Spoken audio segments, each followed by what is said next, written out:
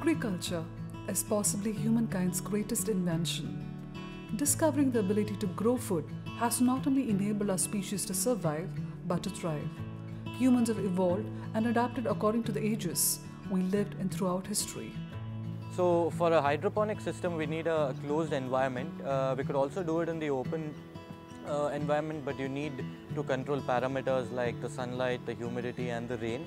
So uh, we suggest a simple DIY structure mostly for a household system or for a semi-commercial or commercial operation, we suggest a green shade net house or a poly house. Uh, which gives some sort of protection from uh, the rain and the sun. So if uh, there are several ways of doing this uh, polyhouse or greenhouse, like if you're looking at a more of a DIY structure, then you're looking somewhere around uh, 50 to 70 rupees per square feet where you procure the material and you call a local fabricator and get it built or if you're giving it to a company which uh, does the greenhouses then it should cost you somewhere around uh, 120 rupees per square feet and if you have to get a proper professional poly house done with an FRP sheet or a poly sheet then it will cost you around 200 rupees a square feet. We've constantly found solutions and alternatives to meet our needs one way or the other. In today's age, with decreasing agricultural land, depleting groundwater levels, and land degradation, we are faced with the challenge of finding an alternative to traditional farming. Adaptability being our strongest trait, we have once again found a method to solve this particular conundrum. So uh, hydroponics can be done in an open field and in a closed environment. Uh, if you're doing it in an open field, then your production becomes very seasonal, as in you can't grow the cool season crops like lettuce, kale and uh, arugula during the summer months. You might need some protection from the shade net. But if you don't have a shade net or if you just have a hydroponic system, then you can grow seasonal crops accordingly. So basically the NFT systems that we provide can be segregated into two segments based on the area that you have and based on the production you need. For example, if somebody had like 6 or 8 square feet of area as well, uh, then we have a system which could fit 25 plants in that area. Or if somebody wanted, somebody had an area of 100 square feet, then we can give them a system according to that which has around 240 to 250 plants growing there, giving a yield of 20 kgs in every month. So we can also segregate the system based on the yield that you want. For example, a family of uh, four people want 10 kgs of greens uh, every month. Then we have a system which fits in 20 square feet and gives you 10 kgs of greens every month. So uh, the prices usually vary for an NFT system from somewhere around uh, 7,500, 8,000 rupees and goes upwards to 50,000 rupees. So these are your home kits. Hydroponics is a method of growing plants without soil by feeding water and nutrients directly to the roots. It requires very little water compared to soil based farming. The plant growth is faster and the yields are heavier as well.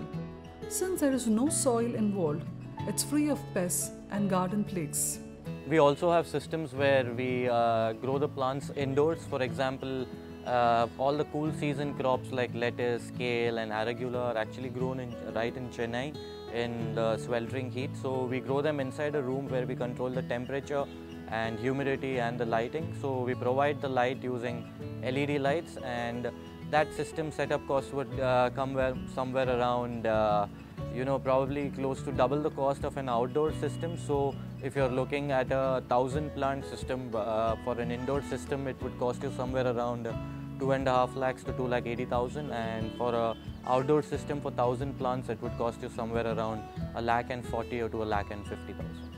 The space required for hydroponics farming is very little, allowing anyone with a small room space or terrace to start farming. The pandemic has made people more health conscious, so growing their own greens and vegetables would be an ideal and preferable option. The subsidy is for the polyhouses, it is for the drip irrigation, it is for the weed mats. But when it comes to the hydroponic system, there is no subsidy as of yet. But the Indian system is trying to get subsidies in hydroponic units as well to make it more sustainable and uh, make it more accessible by the rural community. So now when it comes to the uh, planting material, we are using UPVC channels and these UPVC channels are manufactured as food grade. So we do not use any sort of heavy metal plasticizers in this and we do not recommend that because there is a leaching of heavy metals once we use uh, normal PVC pipes. So we recommend only using UPVC channels which do not have any heavy metal plasticizers. So this is 100% organic and no chemical leaching happens whatsoever. And again, this is free from all salmonella and E. coli, which is generally found in organic food. Here we do not have any microbial activity that is taking place at all in the whole cultivation. India's hydroponics market is estimated to grow at a compound annual growth rate of 13.57% by the end of 2027. As a sustainable way of farming with several huge benefits, hydroponic farming is set to transform the agriculture sector. The opportunities for young, new entrepreneurs to propel themselves to the forefront of the agriculture industry are evident.